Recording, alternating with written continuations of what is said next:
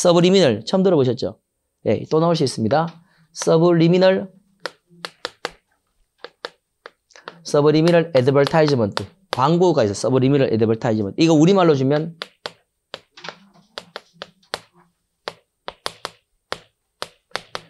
식역하 광고입니다. 여러분들 영화 있죠? 그림을 이렇게 서서히 그려서 보기 쫙 빨리 넘기면 어때? 움직임처럼 보이죠? 그게 영화의 원리란 말이야. 그러니까 하나하나 찍힌 거를 빨리 돌리는 게 원리란 말이야. 돌리는 거. 옛날에 보면 필름 보면 이게 쫙 돌죠, 이렇게. 옛날에 보면. 그게 이제 그 필름을 빨리 돌리는 거야.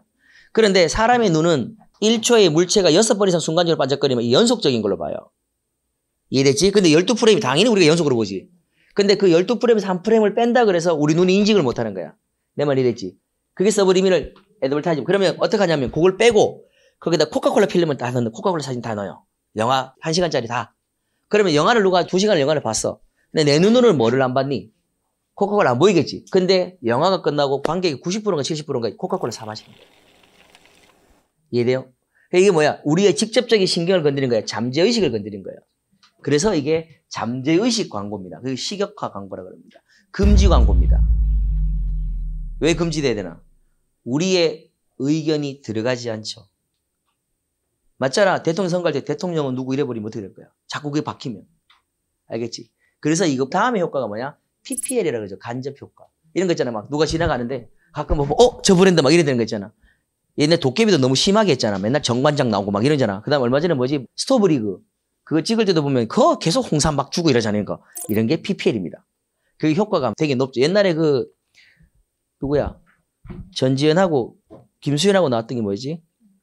어 별그댄가 그거 할 때 왜 전지현 드레스 바로 완판됐대잖아. 입은 드레스가 착각하는 게 전지현이 입으니까 이쁜 거야.